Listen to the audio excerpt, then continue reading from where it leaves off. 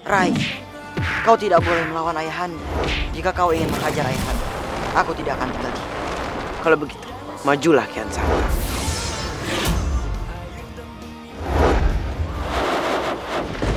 Peperangan masih terus berlangsung. Benar, Raka. Kita harus segera bergegas. Aku punya firasat yang tidak enak. Bisa menjadi